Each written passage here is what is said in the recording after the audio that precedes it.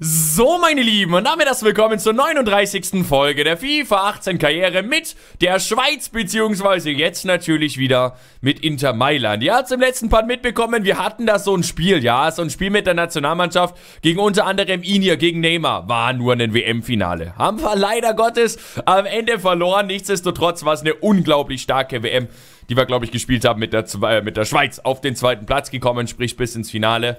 Und dann halt leider gegen Neymar und Co. verloren. Grüße gehen raus an Neymar, an das brasilianische Team. Wenn ihr das Let's Play gerade seht, habt ihr euch verdient. Gar keine Frage. In dem Sinne, wir starten heute rein in die zweite Saison. Ich habe schon am Ende ähm, der letzten Folge angesprochen. Ab heute, ab Part 39, ihr seht es auch am Thumbnail, das ein bisschen anders ist. Starten wir also rein in die zweite Saison. Vorneweg auch nochmal, um vielleicht das Thema Schweiz ganz kurz nochmal aufzugreifen. Äh, keine Ahnung, was wir machen. Also ob wir da jetzt zurücktreten, ob wir da mit der Schweiz weiterspielen, ich habe absolut keine Ahnung. Wir können mal ganz kurz reinschauen, ob da schon irgendein Freundschaftsspiel im Kalender in irgendeiner Art und Weise drin ist. Bis dato noch nichts. Hier ist nochmal irgendwie, nee, das ist Copa Nationale. Also da ist soweit auch noch nichts drin. Ich denke mal fast, dass das dann mehr oder weniger ähm, dann nochmal äh, ja, irgendwie nachgereicht wird oder so. Beziehungsweise vielleicht sehen wir es auch nicht, weil wir vielleicht aktuell noch gar nicht Vertrag haben. Ich habe keine Ahnung. Aber das wollen wir auch nicht heute entscheiden, da haben wir noch ganz lang Zeit. Also jetzt lassen wir erstmal das WM-Finale ein bisschen sacken und äh, dann gucken wir weiter. In dem Sinn, wenn es euch heute wieder gefällt, lasst mir sehr, sehr gerne ein Däumchen nach oben da. Wenn ihr mehr sehen wollt, lasst ein Abo da und verpasst nichts. Äh, vielen lieben Dank auch für die ganzen Kommentare, die ihr mir geschrieben habt. Ich habe die nebenbei nochmal offen. Da waren sehr, sehr coole äh, Kommentare mit am Start. Kommentator für die WM 2018 schreibt Obi CR7. Äh, ich glaube, das wird nix. Seit wann hat Ederson den Helm auf? Das ist auch eine gute Frage. Seit dem Fall von Mané? I don't know, Freunde. Äh, von dem wir mal schauen, ja. Birki für Inter Mailand stand auch noch da mit in den Kommentaren. Da werden wir uns jetzt später auch nochmal umschauen, beziehungsweise da werde ich euch auch heute fragen, wen wir so verpflichten wollen. Heißt, ihr könnt jetzt schon mal euch Gedanken machen, aber da kommen wir später nochmal mit dazu. und so weiter und so fort. Auch nochmal die Frage bezüglich den Einstellungen. Also, äh, ich kann es euch gerne nochmal zeigen, wie ich meine Einstellungen hier habe. Ne? Also, ich spiele immer auf Legende und äh, das ist das CPU-Gameplay. Also, um sieben besser sozusagen, bis auf jetzt zur Verletzungsschwierigkeit äh, und Schwere und das ganze Gedöns. Da sogar acht, das habe ich glaube ich gerade aus Versehen eingestellt. Ähm, überall sogar sieben besser. Ja, also äh, dementsprechend nur damit ihr da Bescheid wisst, wir haben schon echt ordentliche Einstellungen meiner Meinung nach, ähm, die wir da angepasst haben, die glaube ich auch aktuell ganz gut sind. Vielleicht müssen wir die nochmal ein bisschen nach oben korrigieren, das werden wir sehen. Nur damit ihr da schon mal Bescheid wisst, Freunde. So, Dementsprechend, heute viel Kleinkrams, heute ein bisschen Simulation, heute ein bisschen Kaderanalyse und mit der werden wir auch reinstarten. Das ist nämlich das, was ich euch, wie gesagt, heute schon mal fragen wollen würde. Ähm, um die Frage schon mal relativ auch am Anfang zu klären. Das ist der Kader. Was sollen wir tun? Wen sollen wir verkaufen? Wen sollen wir kaufen? Was haben wir denn aktuell an Budget? Wir stehen bei äh, 71 Millionen Transferbudget, die wir aktuell zur Verfügung haben, bei 179.000 Gehaltsbudget. Sprich, damit ihr das schon mal im Hinterkopf habt. Das ist das Finanzielle und das ist das Sportliche. Also, wir gucken mal. Wir haben im Sturm. Also die Formation an sich finde ich schon mal stark. Die will ich auch so weiterspielen. Ist mal eher was Untypisches für meinen Karrieremodus. Keine Ahnung, ob das allgemein untypisch ist, so eine Formation. Aber für meinen Karrieremodus ist es relativ untypisch. Meistens spielen wir eigentlich mit Flügelspielern 4-3-3 oder 4-1-2-1-2 oder irgendwie sowas in der Art. Ähm, oder Dreierkette wie bei Magdeburg. Aber das ist eher eine eher ungewöhnliche Formation für mich. Wir haben aktuell Belotti, wir haben Icardi, wir haben äh, Gabriel, nicht Jesus, sondern Gabriel Barbosa ist der gute Mann. Sprich, drei Stürmer, Pushkas ist da nochmal zurückgekehrt, ausgeliehen, Manage oder so zurück äh, ausgeliehen, Pinamonti. Ähm, die da alle mit zurückkehren. Forte hier noch. Also ihr seht, wir müssen da auch natürlich einige wieder verleihen. Der Kader ist so dermaßen aufgebläht, nachdem die ganzen Spieler zurückkommen. Das ist Wahnsinn. Ähm, Im ZOM hatten wir den meiner Meinung nach besten Spieler der vergangenen Serie A-Saison, nämlich Ivan Perisic. Ähm, ich denke, das ist auch absolut perfekt. Man hat halt aktuell nicht wirklich einen Ersatz.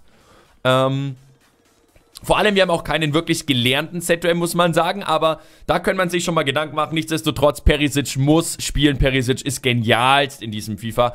Ähm, sprich, der wird natürlich standardmäßig äh, in der Startelf stehen auf ZOM. Dann haben wir Mittelfeld und da hat sich jetzt irgendwie ein bisschen was verruckt, warum auch immer. Ähm, Milinkovic, Savic, Goretzka und Brozovic. Das ist Mittelfeld, mein lieber Herr Gesangsverein. Wir haben dann noch dazu einen Vesino. Wir haben noch einen Kondokbär, der aktuell auf der Rechtsverteidigerposition entsteht. Gnukuri als junges Talent. Ähm, theoretisch noch ein Upamecano, der da auch spielen kann. Aber auch da würde ich fast sagen, bräuchte man nochmal Ersatz. Also, meiner Meinung nach fehlt uns ein ZM, der auch ZOM spielen kann noch. Ein starker. Wir haben jetzt aktuell, wie gesagt, Kondogbia, äh, Vecino. Das sind zwei Spieler, die durchaus okay sind, aber für unsere Ansprüche mittlerweile nur noch in der zweiten Reihe stehen. Also weder Vecino noch Kondogbia sollten eigentlich von Beginn an spielen. Ähm, Im ZM haben wir für Perisic, wie gesagt, eigentlich gar keinen Ersatz. Das heißt, wir bräuchten einen, einen Achter, der aber auch geil als Zehner ist, ja. Einen offensiven Achter, Freunde sozusagen. Oder man holt sich halt einen Zehner und einen Sechser. Das können wir auch machen. Heißt, Mittelfeld, zentrale Position, gerne Gedanken machen. Da müssen wir auf jeden Fall aktiv werden. Da müssen wir was tun. Ähm, Linksverteidiger haben wir aktuell Dalbert. Ähm, Rechtsverteidiger Cancelo, den kann ich jetzt das schon mal reinpacken. Miranda mit Rugani, Skriniar, Upamecano. Also auch da könnte man durchaus mal was tun. Handanovic im Kasten, um den nochmal kurz mit reinzunehmen, ist 34. Da haben wir Bardi, Padelli und Co.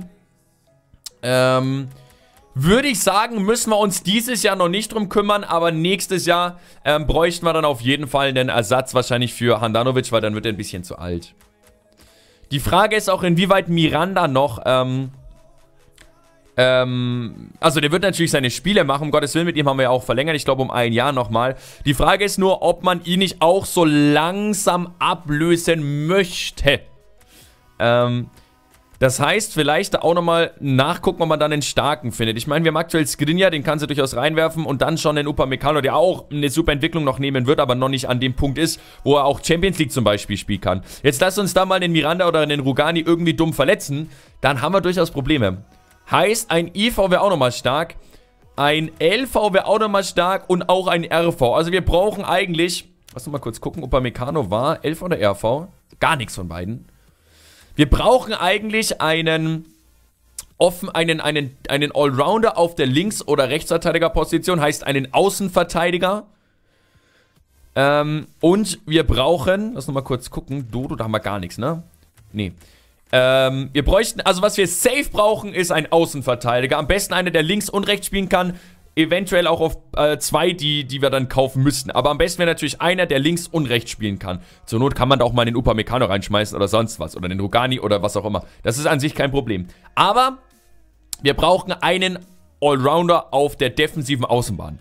Dann brauchen wir einen Ersatz in der Innenverteidigung, grob mit einem 80er Rating. Die Außenverteidiger würde ich auch sagen, so ein 80er Rating. Und wir brauchen noch im ZM jemanden, da von mir ist auch so ein 80er Rating.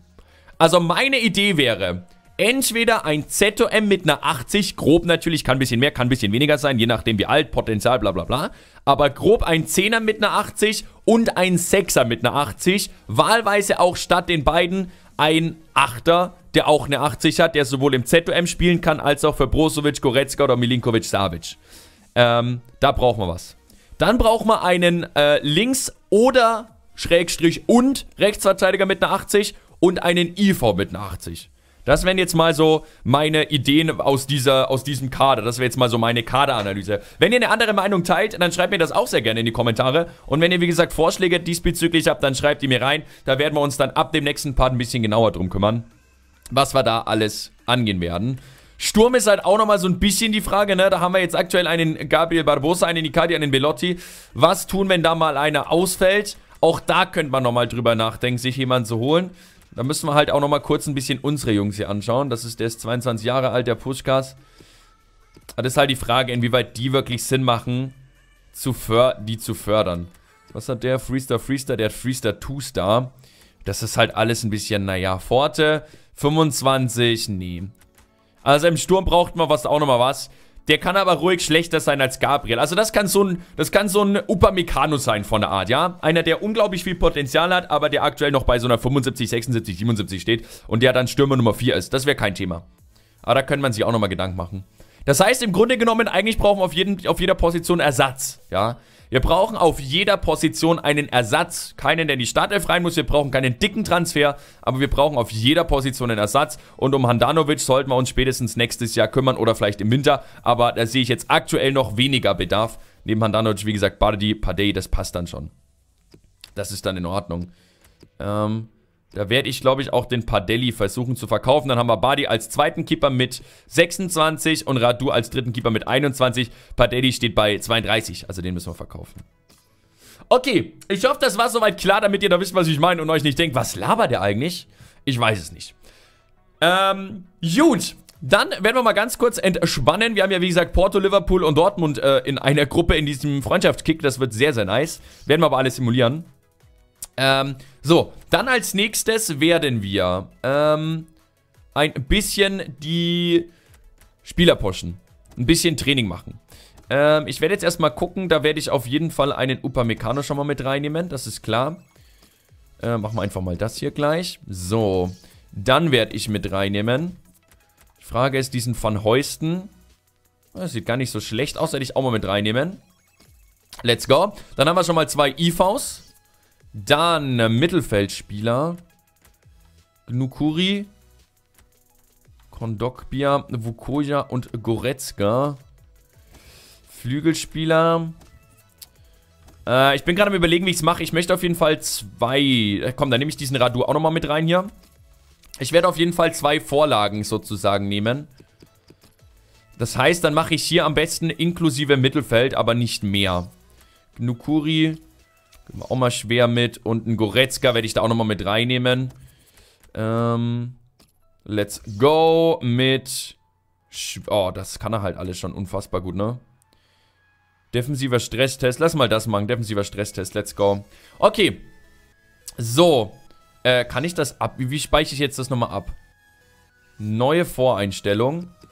Ähm, dann nenne ich das jetzt einfach mal Defensive. Ähm, und dann äh, werden wir die anderen mal löschen, wenn das funktioniert, so wie ich das vorhab. Defensive. So, die möchte ich löschen. Löschen. Und die möchte ich auch löschen. Okay, wenn ich jetzt da drauf drücke, dann haben wir die. Das heißt, dann gehe ich jetzt hier mal rein, dann machen wir jetzt mal die Offensiven. Da haben wir Pina Monti mit 19 Jahren. Das ist wahrscheinlich so der einzige, den wir fördern sollten. Dann nehme ich den auch gleich mal. Ähm, empfohlen. Stellungsspiel, Abschluss, Schusskraft. Let's go. Ähm, dann statt Van Heusten noch einen Flügelspieler, nämlich den... Das ist halt die Frage, inwieweit die, wir die überhaupt behalten, ne? Da haben wir viele Jugendspieler, aber das macht halt auch nicht so viel Sinn. Ähm, ich nehme nochmal den Gabriel mit rein, Freunde. Den werde ich auch nochmal pushen. Mal schauen. Fernschüsse, Kopfballpräzision, Ballkontrolle, Dribbling. Ist das halt schon alles unglaublich. Ausdauer wäre das durchaus nochmal stark. Ähm, schauen wir mal, ist das hier nochmal mit drin? Dribbling, aber das kann er auch schon passen. Ja, da machen wir was. Da machen wir was. Jungs, gibt es da was mit Ausdauer? Natürlich nicht. Natürlich nicht. Ähm, egal, Übersicht, kurzer Pass. Let's go. Dann nehmen wir mit rein einen... Wen nehmen wir dann noch mit rein? Vukoya mit 16 Jahren. Das ist schwierig, ne? Das ist echt schwierig, Jungs. Komm, ich nehme dann mal diesen Rivas mit rein, warum nicht? Ähm, empfohlen, Dribbling, Ballbesitz, okay. Damak Nukuri und nochmal Goretzka. Da werde ich aber hier nochmal Goretzka mit rausnehmen. Dann nehme ich da nochmal den... Ich push nochmal weiter den Pinamonti. Vielleicht wird das ja sogar ein geiler Mann, den wir da gebrauchen können. Ähm, machen wir das hier. Vielleicht wird das ja sogar ein starker Mann. So, jetzt gehe ich hier mal rein. Trainingsvoreinstellungen, neue Voreinstellung. Dann speichern wir das mal ab unter Offensive. Huch, nicht Offensive, sondern Offensive natürlich. Und dann haben wir da schon mal zwei Voreinstellungen. Und dann könnte man natürlich noch eine letzte Voreinstellung machen, wo man auch nochmal die Jugend mit reinnimmt. Ähm, so, jetzt lassen wir nochmal schauen. Trainingsvoreinstellungen, genau. Defensive, Offensive, wunderbar. Dann lass erstmal die Defensive trainieren. Die hat, glaube ich, das macht ein bisschen mehr Sinn aktuell. Alles simulieren, sehr schön.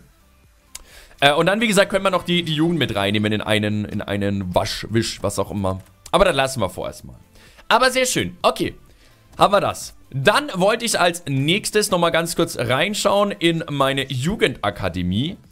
Ähm, und da eventuell nochmal den einen oder anderen rausschmeißen, der nicht wirklich Sinn macht. Aber die haben alle schon mal zumindest ein starkes Potenzial. Antonio Mariani, ja, der hier kann auf jeden Fall raus, oder?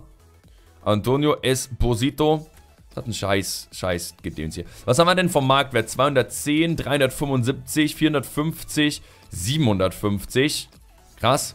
Äh, 250, 170, 400 230. Okay, das heißt, der Felix Becker ist der krasseste Motherfucker on Earth, Freunde. Der Kerl gibt Gas. Okay, nicht schlecht, nicht schlecht, nicht schlecht, nicht schlecht. Ähm, das ist doch schon mal ganz schön. Gut. Äh, warte mal, ich kann noch mal, guck noch mal ganz kurz rein im Jugendstab, aber da ist ja nichts, oder? Da kann ich es nur aufbauen. Scout-Bericht verfügbar. Lass ich auch noch mal kurz durchgehen. Äh, ablehnen, ablehnen, ablehnen. Bis 92. Aber lehne ich auch ab. Der hat ein scheiß Startrating, der sowieso. Ja, ablehnen. 16 lasse ich mal drin. Und ablehnen. Okay, das heißt, Danilo Bikancic oder so ist da als einziger drin. Und den Urs Rösch, den schauen wir uns auch nochmal an. Ähm, 71 bis... Uh, der könnte vielleicht durchaus nicht schlecht sein. Lasse ich drin. Lasse ich auch mal noch drin. Raus. Raus. Raus. Ja, lassen wir mal. Uh, ja. Was hat der für einen Marktwert? 50.000 nur? Okay, ja gut, er hat wieder ein Kack-Start-Rating, ne? Und raus hier. Raus hier. Okay. Sehr schön. Ähm, ich werde dann die alle gemeinsam wieder losschicken. Heißt, ich werde jetzt den Scout erstmal warten lassen, damit wir die gemeinsam losschicken, glaube ich. Oder zumindest machen wir es nächstes Mal oder so. Gut, und dann, äh, last but not least, ähm, für heute, zumindest bevor es gleich in die Simulation reingeht, äh, geht, wollte ich nochmal ganz kurz in mein Büro schauen, äh, in meine Mannschaft schauen, in meine Teamzentrale und dann werden wir jetzt nochmal den einen oder anderen auf die Transferliste setzen, Freunde. Erstmal gucken wir uns nochmal schnell die Verträge an. Bardi, ein Jahr Padelli, der kommt, wie gesagt, auf die Transferliste, das ist klar. Bastoni, der zurückgekehrt ist. Ne, der ist ausgeliehen. Der ist jetzt noch ausgeliehen? Wie? Zwei Jahre. Ach, der war zwei Jahre verliehen. Wisst ihr, was ich glaube ich mache? Ich glaube, ich hole auf jeden Fall den Ansaldi zurück, Jungs. Ja, das mache ich. Das mache ich. Let's go. Ja. Also, Ansaldi ist zurück. Dann haben wir nämlich da schon mal einen Außenverteidiger. Und zwar den starken, einer, der wirklich perfekt als zweiter Mann passt. Den nehme ich auf jeden Fall zurück. Ähm, Bakayoko würde ich auf jeden Fall mal auf die Transferliste setzen.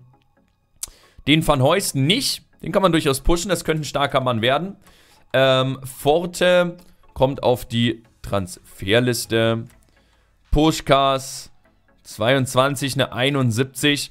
Würde ich mal auf die Leihliste setzen. Das geht gar nicht. Doch, da auf die Leihliste. Let's go.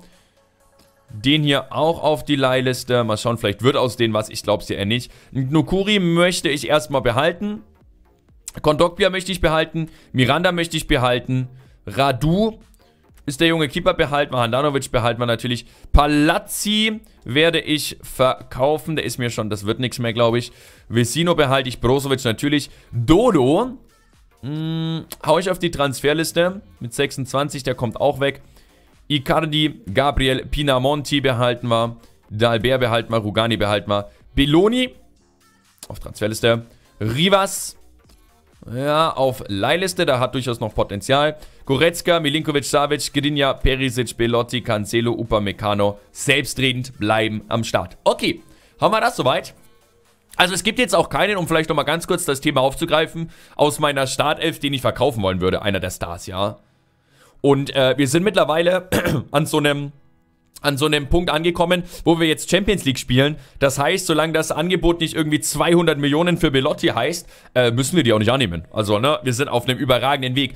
Es wäre eher dumm aus Spielersicht, jetzt als Meister und Co. Richtung Champions League gehend auch nochmal äh, jemand, also Inter zu verlassen. So, wir sind auf dem besten, besten Wege, ein richtig großer Club zu werden. Heißt, wir können auch ein paar Angebote durchaus ausschlagen. Ganz klar. So, Ansaldi ist wie gesagt zurück. Lasst mich nochmal ganz schnell die Bank auch angehen. Ähm, so, Padelli ist wie gesagt nur noch Ersatz. Bardi kommt dafür rein, der auf der Bank sitzt. Skrinja, Upamecano. Warum haben wir so wenig Auswechselspieler? Dürfen wir da nicht mehr haben? Irgendwas stimmt doch da nicht. Ähm, so, Ansaldi, dann sortiere ich die zumindest mal hier hoch, damit ich die im Blick habe. Ähm, ja, ziemlich genau so. Dahinter sortiere ich nochmal kurz nach Rating, damit wir das im Blick haben. Zack, zack, zack. Natürlich habe ich einen vergessen. Egal, Dodo wird auf jeden Fall verkauft, das passt. Okay. Ja, mit Ansaldi sind wir das auf jeden Fall jetzt schon mal ein bisschen flexibler. Das passt. Äh, dann kann man den da auf links mal reinschmeißen, durchaus statt Albert. Kann Ansaldi auch rechts spielen? Weiß ich jetzt nicht. Warte mal, vielleicht wird das hier nur gerade nicht angezeigt. Nie. Aber denke ich, kann man durchaus mal machen. Gut, gut, gut, gut, gut, Jungs. Dann würde ich sagen, dann steht das soweit. Dann gehen wir jetzt rein, machen ein, zwei Simulationen. Ich denke aber fast nur eine, nämlich gegen den BVB. Und dann werde ich wieder äh, erstmal auf eure Kommentare warten, was ihr denn da so mir Schöne schreibt. Und dann äh, geht's erst mit dem Porto-Spiel weiter im nächsten Part, denke ich. Das ist das Sinnvollste. Angebot für Ivan Perisic, 34,8 Millionen, Freunde. Wenger mal wieder am Sparen. Wenger mal wieder am Sparen, natürlich. Na, Perisic hat nur noch einen Wert von 28 Millionen. Das ist ja krass. Ähm, Frosinone möchte den Francesco Forte ausleihen. Allerdings, glaube ich, habe ich den zum, zum Kauf drauf gekloppt, ne? Äh, Angebot wird abgelehnt, Perisic und Bullshit. Natürlich nicht. Natürlich nicht. Natürlich nicht. Ähm, lass noch mal kurz den Forte anschauen. Wo, die möchten den ausleihen. Aber ich habe den eigentlich verkaufen wollen, oder? Habe ich den verkaufen wollen? Mannschaften. Teamzentrale. Finanzen. 25 war der Kerle. Ach, schon mal, wie viele Junge da jetzt zurückgekehrt sind. Wahnsinn, ne? Äh, hier. Vertragsdauer. Den habe ich doch. Warte mal, ich äh, von Liste streichen. Jetzt hau ich den nochmal drauf kurz. Auf Transferliste setzen, ja. Also den möchte ich verkaufen, nicht verleihen, weil äh, das hat keinen Sinn mehr. Dann haben wir den nächstes Jahr wieder an der Backe, den Kollegen hier. Das macht ja keinen Sinn. So, bla bla. Okay, das heißt, dann kann ich auch mal kurz nochmal reingehen und das soweit schon mal löschen. Transferzentrale. Ähm, erhaltene Angebote ablehnen. Den wollen wir auf jeden Fall, wenn dann, verkaufen. Sehr schön. Gut, äh, dann gehen wir rein, Jungs. Also, Simulation. Kann ich jetzt hier nochmal kurz bitte meine Bank auffüllen? Oder warum? Es geht nicht. Warum sitzen da nur fünf auf der Bank? Ich kann da auch nichts machen. Bin ich gerade dumm oder bin ich gerade dumm? Ich weiß es nicht.